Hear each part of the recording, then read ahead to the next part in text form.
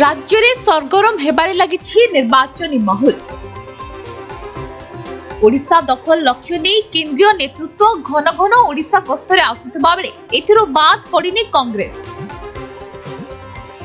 ଓଡ଼ିଶା କଂଗ୍ରେସକୁ ବଳ ଯୋଗାଇବାକୁ ଆସନ୍ତାକାଲି ଦିନିକିଆ କନ୍ଧମାଳ ଜିଲ୍ଲା ଗସ୍ତରେ ଆସୁଛନ୍ତି ଏଆଇସିସି ସଭାପତି ମଲ୍ଲିକାର୍ଜୁନ ଖଡଗେ ତାଙ୍କ ସହ ତେଲେଙ୍ଗାନା ଉପମୁଖ୍ୟମନ୍ତ୍ରୀ ମାଲ୍ଲୁ ବାଟି ବିକ୍ରମାର୍କା ମଧ୍ୟ ଆସୁଛନ୍ତି ଆସନ୍ତାକାଲି ଅପରାହ୍ନ ସମୟରେ ଫୁଲବାଣୀସ୍ଥିତ କରୁଣ ସେନ ପଡ଼ିଆଠାରେ ଆୟୋଜିତ ଏକ ଜନସଭା କାର୍ଯ୍ୟକ୍ରମରେ ଯୋଗଦେଇ ଭୋଟରଙ୍କୁ ଉଦ୍ବୋଧନ ଦେବେ ଖଡଗେ।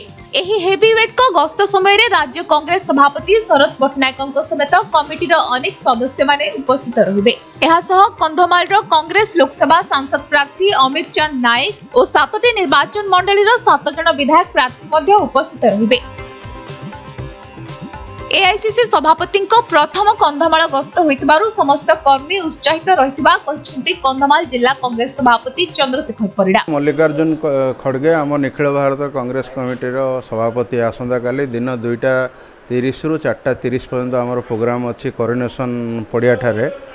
ଉକ୍ତ ସଭାରେ ମଲ୍ଲିକାର୍ଜୁନ ଖଡ଼ଗେ ଆମ ତେଲେଙ୍ଗାନାର ଉପମୁଖ୍ୟମନ୍ତ୍ରୀ ପ୍ରଦେଶ କଂଗ୍ରେସ ସଭାପତି ଶରଦ ପଟ୍ଟନାୟକ ଭକ୍ତଚରଣ ଦାସ ଶାହନାଜ ହୁସେନ ଅଜୟ କୁମାର ସମସ୍ତ ନେତୃବୃନ୍ଦ ଯୋଗ ଦେବେ ତେଣୁ ଜିଲ୍ଲା ସାରା ଗୋଟିଏ ଅଲଗା ମାହୋଲ ସୃଷ୍ଟି ହୋଇଛି। ଯେହେତୁ ଆମ ଅଲ୍ ଇଣ୍ଡିଆ କଂଗ୍ରେସ କମିଟିର ସଭାପତି ଆସୁଛନ୍ତି ସବୁ କଂଗ୍ରେସ କର୍ମୀମାନଙ୍କ ମଧ୍ୟରେ ଉତ୍ସାହ ସୃଷ୍ଟି ହୋଇଛି।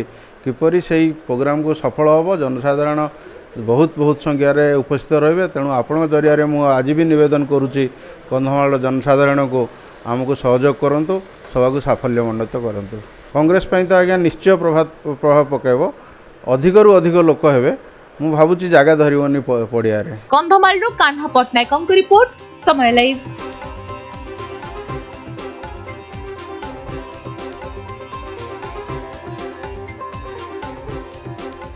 ଭାଉଜ ତମେ ଏ ଯୁଗରେ ବି କାଠ ଚୁଲିରେ ରୋଷେଇ କରୁଛ? ଗ୍ୟାସ୍ ଦର ଯାହା ହେଲାଣି ଆମେ କ'ଣ ଗ୍ୟାସ୍ରେ ଆଉ ରୋଷେଇ କରିପାରିବୁ ସେଇଥିପାଇଁ ତ। କଂଗ୍ରେସ ଦେଉଛି ଗ୍ୟାରେଣ୍ଟି ଯେଉଁଥିରେ ମାସକୁ ପାଞ୍ଚଶହ ଟଙ୍କାରେ ଗ୍ୟାସ୍ ସିଲିଣ୍ଡର ପାଇପାରିବ।